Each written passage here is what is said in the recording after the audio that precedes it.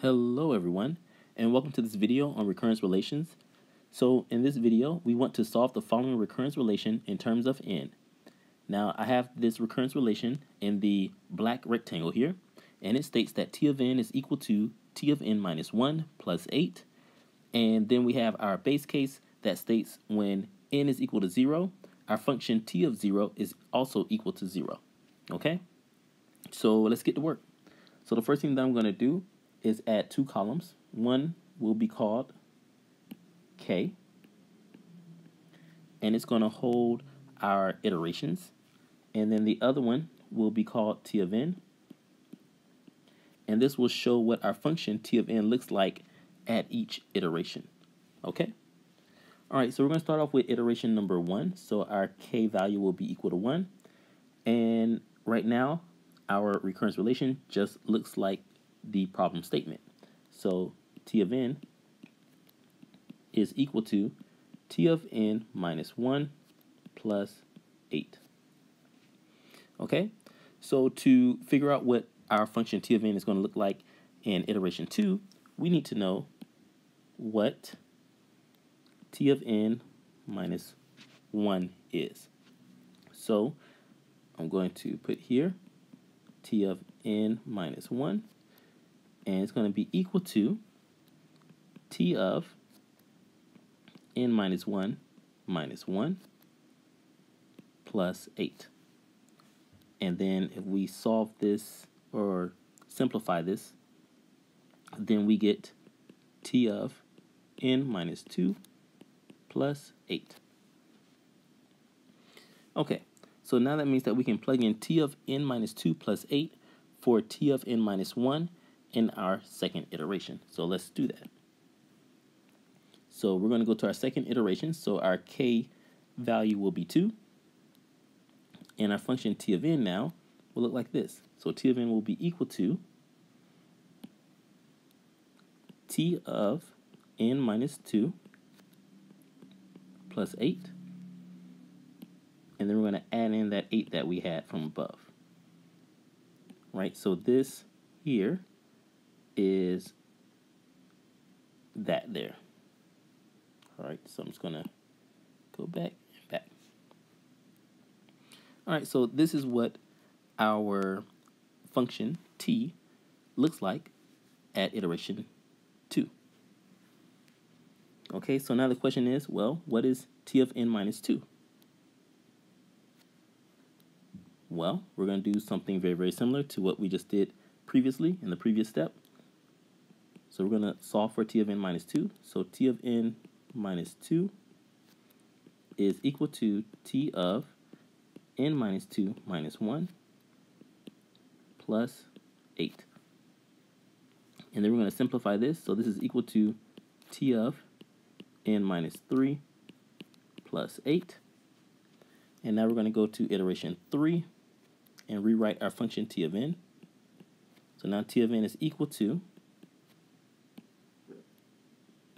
t of n minus 3 plus 8. And then we need to add the other two 8s. So plus 8 plus 8. All right, and we're going to keep doing this until we can see a pattern. But I already see a pattern, so we're going to stop here. And we're going to basically come up with a general form. So for some k iteration, we're going to just call k here, right? what does our function t looks like? So for iteration k, our function t of n, we believe will look like this. So we believe it will be t of n equal to t of n minus k plus 8 times k. Right? Because at iteration 1, we had 1 8. At iteration 2, we had 2 8s and at iteration 3 we had 3 eighths.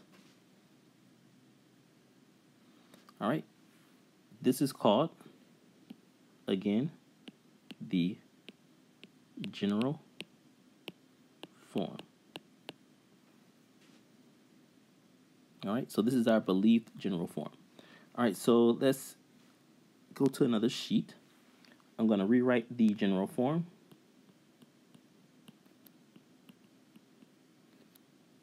All right, so we had t of n is equal to t of n minus k plus 8 times k. I'm just going to double check that. Let's go back to the previous sheet. Yes, t of n minus k plus 8 times k.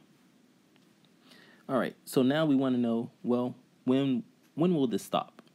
And to do that, we need to know the base case. So if we go back to the previous sheet, we can see our base case states that when n is equal to 0, our function t is equal to 0. Okay? So that means that we want whatever's inside of here, our parameter, we want it to be equal to 0. So let's go to the other sheet here. And here I'm going to put, we want t of 0 for the stopping case. And I'm going to put so we need n minus k to be equal to 0. Right? We need this here to be equal to 0. All right. So let's do that. Also, this will also allow allow us to get this general form in terms of n.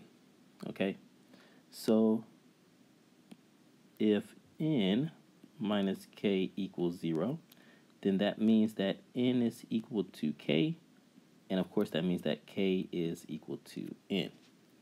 So this means that we can now substitute any value k that we see in our general form for the value n, or with the value n.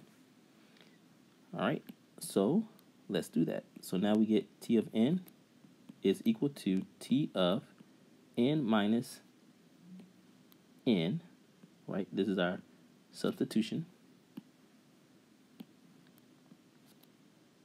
plus 8 times n.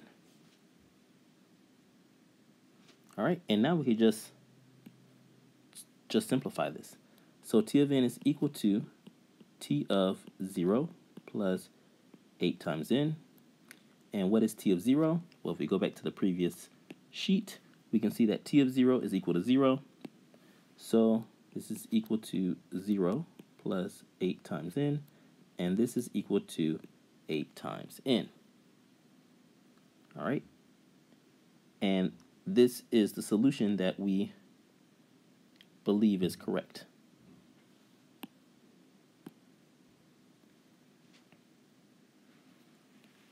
Okay.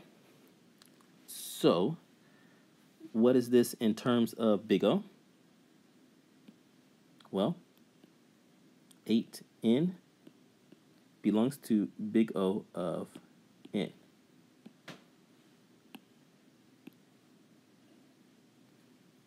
How do I know this? Well, one, I have lots of experience in big O notation, but I do have a few videos for you all if you are wondering how this is possible, showing what makes a function belong to big O of n. So you can check out those videos. I will leave a few links below in the description. And this form, 8 times n, is our believed solution. So you're going to have to use some other technique to truly and fully prove this. All right. But in this case, I guarantee you all that that is the actual solution. All right. So thank you all for watching. I hope you enjoyed this video and learned a lot. Please leave any likes that that you want to uh, for this video and other videos. It is greatly appreciated. Thank you all, and I will see you all in the next video. Bye-bye.